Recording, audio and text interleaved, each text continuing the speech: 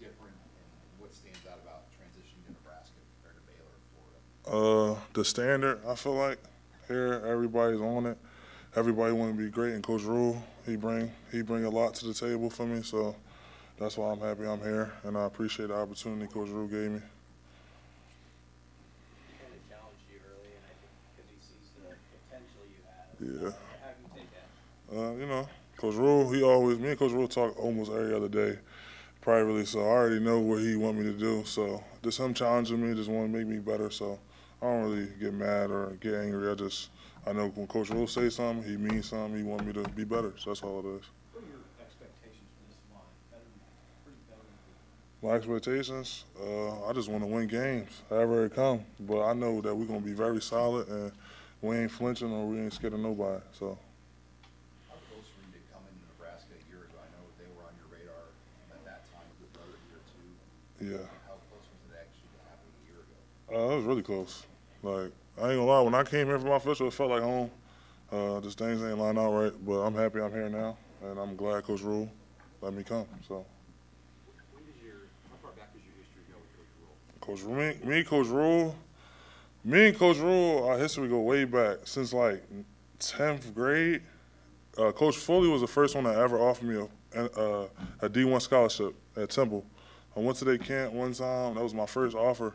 And I fell out from there. We just been keeping contact. I always knew where he was at. Uh, the Baylor situation, he kind of helped me with that. Uh, and Coach Rhule always been that guy. He always had his roots deep in Philly, and he always been close to my family.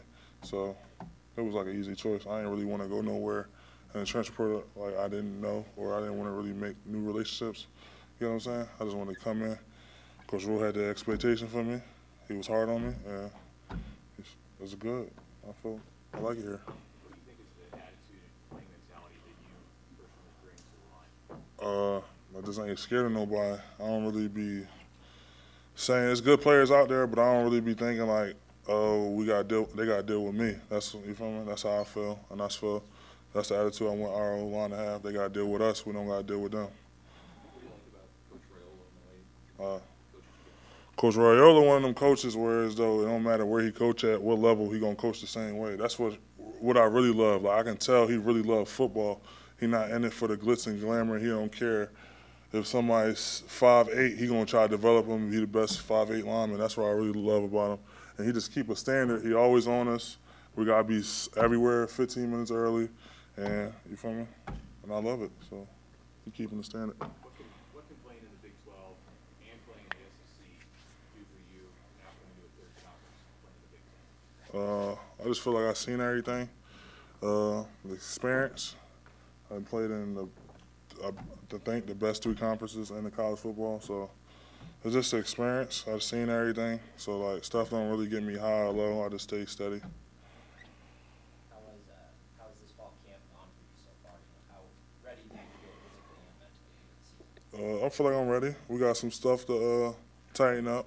That's what these next two weeks for. These next couple days. So we're gonna be ready, and we we ready. You played on a lot of lines. What would you say about the talent in this room and how, just, just what it looks like to you, the guys around you? Uh, it's pretty the same. Uh, Florida, we had a good line. Baylor, we had a good line. I feel like here we're gonna have a good line. There really ain't nothing different. We got Bryce, six ten. We got Teddy got hurt, but we got Teddy. We got Turner. We got Ben Scott. We got Joey Mancino. We got me and the guys. We got the freshman guys. I feel like we all put together. We're gonna be a good line. Have you, what side, as far as guard, do you feel comfortable at both left and right? What's Yeah. kind of been your best fit in Nebraska?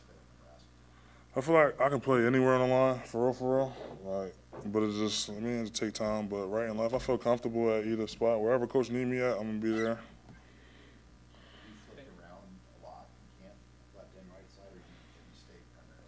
I just been like this whole off season. I've been working at both, so I was ready for if either I had to be at left guard, right guard, anything. So it really wasn't. It's really not a difference for me. Anything else from Mike? All right, thanks. Thank you, appreciate it.